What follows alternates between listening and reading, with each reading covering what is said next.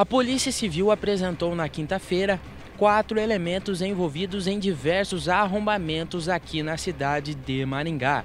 E juntamente com eles, diversos itens foram recuperados. Desde a quinta, várias pessoas têm comparecido até o cartório-chefe para tentar reaver algum item que foi furtado de sua residência. A Polícia Civil, o delegado-chefe faz um apelo.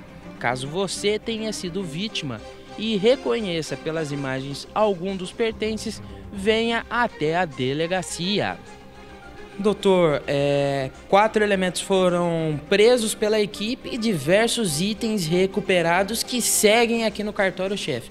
É importante que a população veja as imagens e caso alguém ache que foi vítima ou reconheça pelas imagens, venha aqui para fazer o reconhecimento. Sim, é muito importante. Infelizmente, é, esse montante aí que foi recuperado, apesar de expressivo, não representa a totalidade daquilo que é retirado ilicitamente por parte desses arrombadores.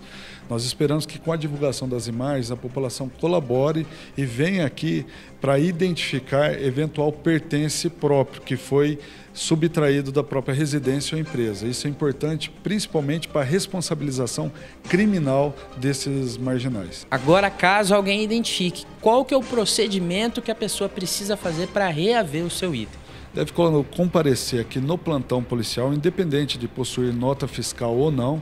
Nós vamos analisar cada caso e buscar a restituição para cada uma dessas vítimas.